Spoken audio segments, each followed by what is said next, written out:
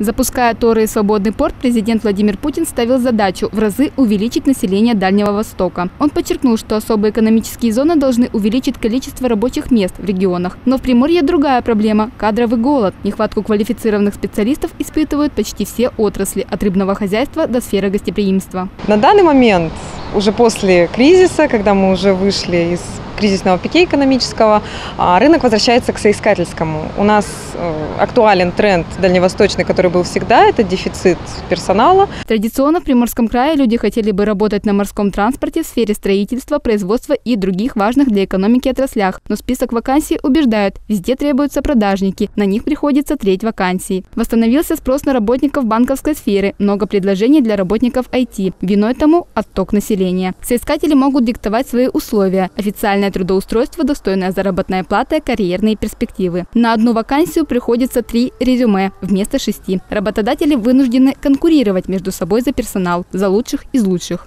Топ-3 самых высокооплачиваемых специальностей по версии базы объявлений «Форпост». Самую высокую зарплату получают работники морского транспорта, рыбообработчики, капитаны кораблей и так далее. Их оклад превышает 150 тысяч рублей в месяц. На втором месте электромеханики. Они получают от 110 тысяч рублей в месяц. На третьем месте стоит вакансия коммерческий директор с предложением зарплаты от 100 тысяч рублей в месяц.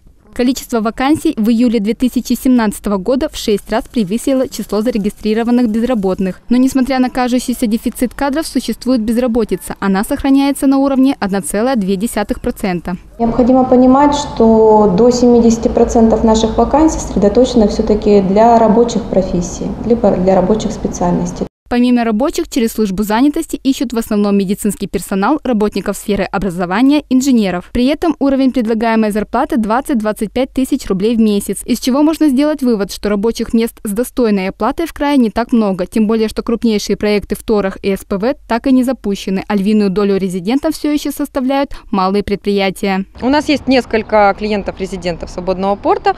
По мере того, как проект развивается, в той же степени, как и территория опережающего развития, в нем появляется появляются резиденты, они начинают работать, они выходят постепенно на уже более высокие мощности, что требует в свою очередь персонал. И постепенно они, конечно же, э, привлекают к себе новый персонал.